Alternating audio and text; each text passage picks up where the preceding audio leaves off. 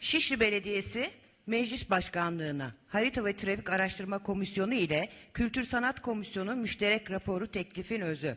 Şişli Kuştepe Mahallesi Şehit Özer Ayrancı ve Demirsoy sokakları arasında bulunan parkımıza Şehit Engin Ayvacıoğlu Parkı isminin verilmesi talebi hakkında. Komisyon görüşü. Belediyemiz meclisinin 05 Nisan 2021 günlü birleşiminde komisyonumuza havale edilmiş bulunan Park ve Bahçeler Müdürlüğü'nün 22 Mart 2021 gün ve 33 sayılı teklifi tetkik edilmiştir. Müdürlüğümüz taraf e, müdürlüğümüz teklifi tetkik edilmiş olup konu ile ilgili olarak meclisimizin daha detaylı bilgilendirilmesi gerektiği görüş ve kanaati ile teklifi müdürlüğüne iadesi yüce meclise saygı ile arz olunur. E, Harita ve Trafik Komisyonu Araştırma Komisyonu Başkanı İlhan Ümit Güven ve diğer üye- üyeler, Kültür Sanat Komisyonu Başkanı Levent Üzümcü ve diğer üyeler. Değerli meclis üyeleri, komisyonların müşterek raporunu dinlediniz. Görüş beyan etmek isteyen var mı? Yok. Komisyon raporu geldiği şekilde oyunuza sunuyorum. Kabul edenler, etmeyenler oy birliğince kabul edilmiştir. Devam ediyoruz.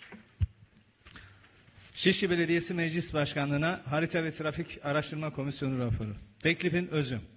Şişli Kuştepe Mahallesi Uğur Bir sokağı üzerinde bulunan ve sokağın ismiyle anılan parka Muhtar Saadettin Bülbülkaya, Bülbülkaya Parkı isminin verilmesi talebi hakkında. Komisyon görüşü.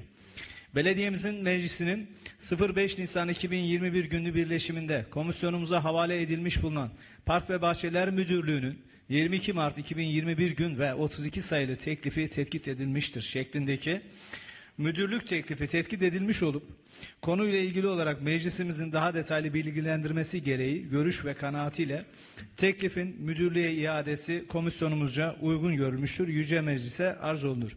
Hari ve, Ta- ve Trafik Komisyonu Başkanı İlhan Ümit Güven ve diğer üyeler, Kültür Sanat Komisyonu Başkanı Levent Üzümcü ve diğer üyeler. Evet değerli arkadaşlar, komisyon raporunu dinlediniz. Görüş beyan etmek isteyen var mı?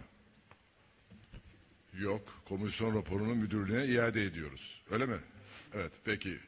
Komisyon raporu müdürlüğe iadesini oylarınıza sunuyorum. Kabul edenler, etmeyenler oy birliğiyle kabul edilmiştir.